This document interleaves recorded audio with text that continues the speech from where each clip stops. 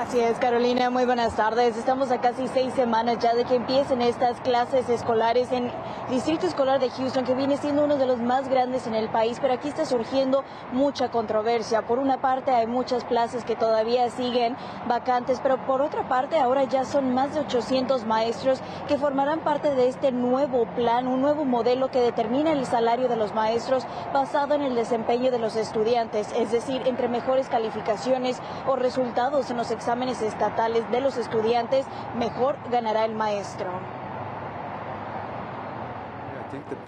Cuando le pagas a la gente basado en su rendimiento, los maestros se esfuerzan más.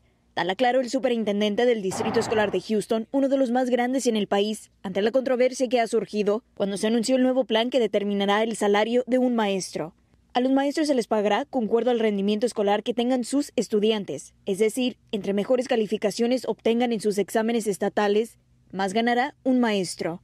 No habrá perdedores con las nuevas medidas de salario, aseguró el superintendente, agregando que ningún maestro ganará por debajo del salario mínimo establecido por el distrito escolar, pero son innumerables los maestros que están en desacuerdo. Es un insulto decir que la única razón que no están sacando buenas notas es porque no pensamos que no nos están pagando bastante o estamos trabajando menos de lo requerido. Argumentan que los estudiantes en zonas de escasos recursos cuentan con menos apoyo que alumnos en otras áreas de la ciudad de Houston.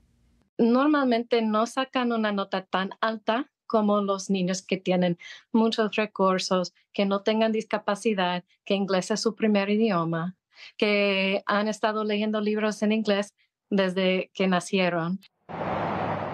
Los maestros estarán iniciando su trabajo en aproximadamente dos semanas, pero aquí hay demasiada controversia todavía. Por una parte está este nuevo modelo y varios también se les ha pedido que renuncien y que nuevamente vuelvan a someter su solicitud de trabajo para que sean empleados bajo este nuevo modelo. Sabemos que en otros distritos escolares del estado de Texas ya existe esto, por ejemplo en la ciudad de Dallas, Texas, pero todo esto viene siendo relativamente para, nuevo para Houston.